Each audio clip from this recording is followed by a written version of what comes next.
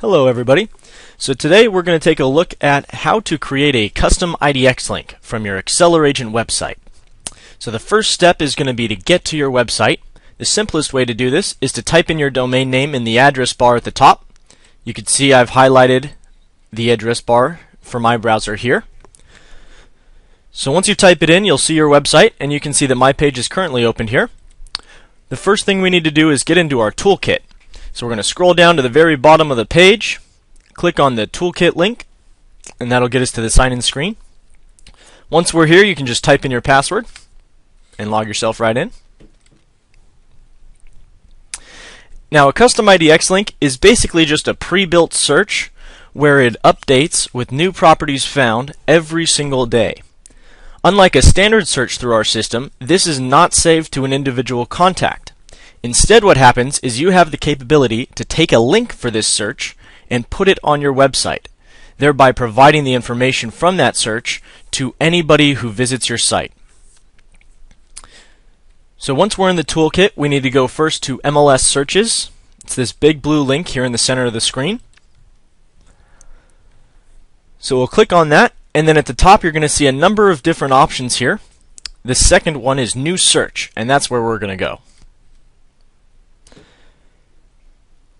If you have multiple MLSs, on the next screen what you'll see is the different MLSs that you're a member of. So go ahead and click on the appropriate MLS. Once you've done that, it'll take you to this screen where you're picking your property type. Each MLS will label them differently. We try to use the words that are used just like your MLS provides to us. So it should be pretty familiar to you. In this case, what I'm going to do is create a single family residence search. So I'll click on that link. I then get my normal search page. So basically what we're looking at here is what criteria do we actually need? For my search today, I'm going to go ahead and ask for active listings to be shown to me. And I'm going to ignore any features that I don't need for my criteria. The reason for this is because I want more properties to show. I don't want my custom IDX links to be limited because I need my clients to feel like they're getting valuable information from me even before they've given me any of their contact information. It's kind of a risk and reward, so feel free to play around with this if you need to. You can always go back and create another custom IDX. So for now, I'm just going to select an active property. I'm going to go ahead and say that it needs to be a three bedroom or higher. We'll say it needs to have two bathrooms. And then I'm going to pick my areas. Now recently, PropertyMinder released a new map search feature. This feature allows you to do shape drawing. Not only can your clients do this from the front of your website, but you can actually do this from the toolkit. I'm going to go ahead and use that for my custom IDX link. So I'm going to click on By Shape Drawing. I'm then going to look at my map, and as you can see, it's a pretty big area. So what I need to do is zoom in on my map so that I can see just the area that I need for my search.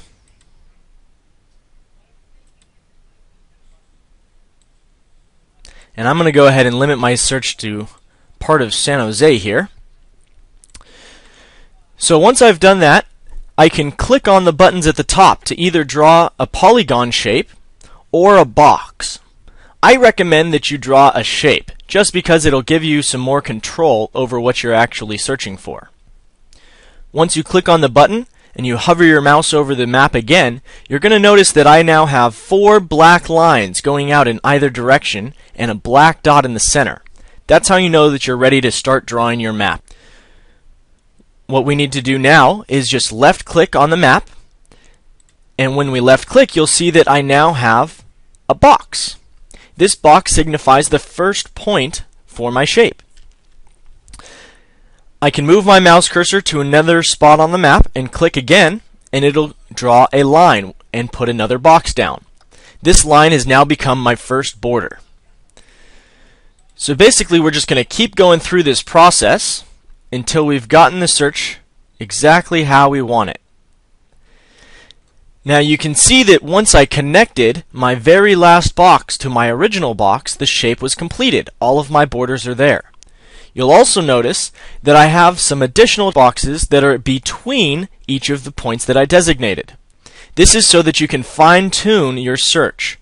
So if I know that my clients don't want anything that's south of 85, I can go ahead and actually drag this box up and make that border the appropriate border. Now again, you'll notice that the boxes, it'll split every single time. Once I click on that center box, it believes that that is a new border. So just make sure that you're setting it up the way that you need to. Now that we've got our search above Highway 85, we'll go ahead and preview the search results on the map.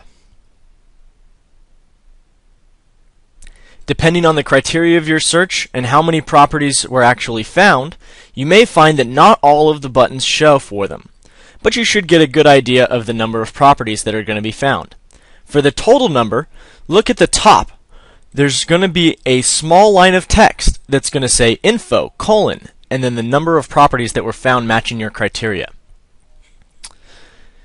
If this is an acceptable search for you, or you have some additional parameters, you can enter those below. We do have some new features that were added, so you can expand each one of them at a time by clicking on the plus button to the left. Say, for example, I only wanted attached single families. And we might even change this also. I prefer to recommend to our clients that when you're creating a custom IDX link, you specify them so that they have to deal with your niche. What's going to separate you from every other agent that not only uses PropertyMinder, but just happens to live in the area or work in that area? In this case, I'm going to say that I want to work with short sales. So I choose my sale type and I check the box that says short sale. Once I've finished that, I can now hit the Search MLS button. Notice that I'm not clicking to save the search. That's because we are not going to assign this to a contact. Once I hit Search MLS, I can see that by limiting myself to attached single families as well as to short sales, I've limited my results to 10.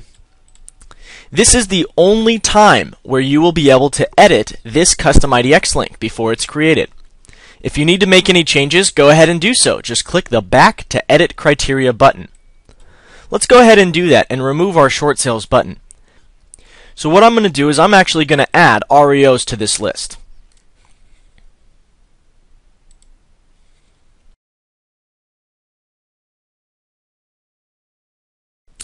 So you can see I've checked that sale type now, and I'll go ahead and hit Search MLS once again.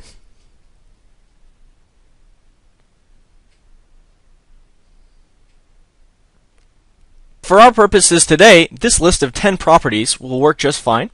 What we're going to do now is click on the blue link at the top left side of the screen. It says Create Custom IDX. If you'd like some more information about Custom IDX links, click on the blue link next to it in parentheses it says, What is Custom IDX? Once you hit the Create button, the site will ask you to name the search. So go ahead and give it a name. Keep in mind that this name will also be used as the name of the button as it appears on the left hand side of your website. Now below this there are two checkboxes. The first checkbox is going to allow you to automatically create this button on your website. This is a new feature that PropertyMinder just released, and what it allows you to do is skip the step of the email. For those of you who are familiar with Custom IDX and may have created one with us before, you'll remember that once you create a Custom IDX link, you receive an email that allows you to add that as a button to either your website or it provides an additional link to use on a third party service like maybe your blog or your Facebook page. In our new feature, what we have is the ability to just create it from scratch right then and there. We can also enable that button by checking the second box below. Finally, I'm going to hit the Create button, and that will create my link. Now I do still receive the email, so if I need to use this link on another service, again like Facebook or my blog, or even maybe you want to put it out as a Twitter link, that would be perfectly acceptable. So you can still do that. Just look for that email to get sent to you. It should take no more than five minutes. If you don't see it in your inbox, go ahead and check your junk or spam mail folders as well. Sometimes we can get caught in there. Let's go ahead and test out our link and see how it looks. What I'm going to do is click on my name in the top left corner of the screen. You'll see it, it's right above the log off button. This is going to show me my new refreshed version of my site. And as you can see on my links on the left hand side, my very last one is now called Active Short Sales. If we click on this link, it'll take us to that page and we can see when it loads that I have a total of 10 properties shown. So that's it. That's all it takes to make a custom IDX link. If you have any questions, feel free to give us a call. The number is 1 800 743 5820, extension number 2 for support. Thanks for watching.